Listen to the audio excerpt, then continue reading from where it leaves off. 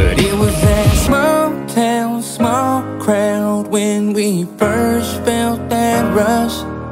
It was a long way around town, trying not to go.